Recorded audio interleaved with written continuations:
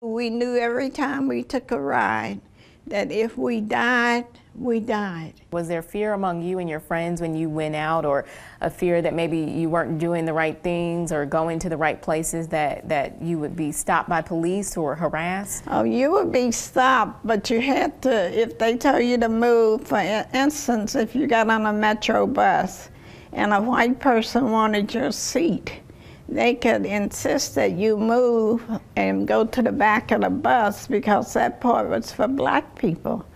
And if you didn't do what they said, you would be arrested. So that was always, you had to do it or you paid consequences. At 21, Betty Daniels Rosemond, then Betty Daniels, decided to leave school at LSU to join the Freedom Riders. I went through some of the training. One of the girls slapped me and almost knocked me down, but that was part of your training to see if you would retaliate, and you couldn't retaliate.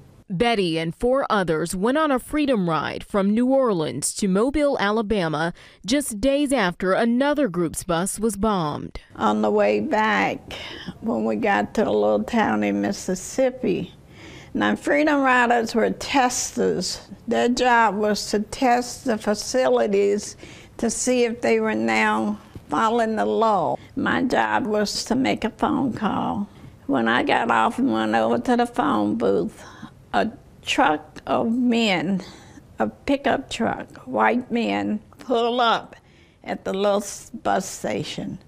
They literally dragged Frank and the three girls out, put them in the back of the truck, and drove off. Now, I knew if they found me, it would have been another lynching that night. All of this because you were black? Of course.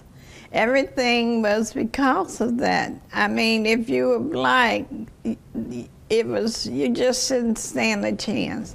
And here we sit today in 2021. We've had our first black president. No. We have had our first female and black and South Asian vice president. How do you feel about where we are today? Oh, I feel good.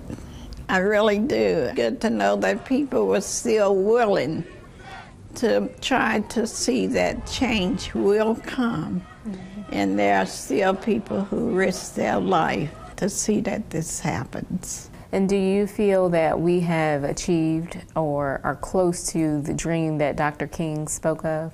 You know, we have work to do. It ain't over till God says mm -hmm. it's mm-hmm. over. The Bible tells us this. We must love each other, love our neighbor as ourselves. We are compelled to love one another, and that's what's missing in the world today. Course, it was my complete honor to speak with Miss Betty and sit down with her. And today, the 81 year old who just recently stopped working, I might add, last year, still speaks to audiences about the work they did and the hope for a better future. Now, she plans to release a book of her poetry soon. And she says what drove her then and what should drive us all now is to be the change we want to see in the world.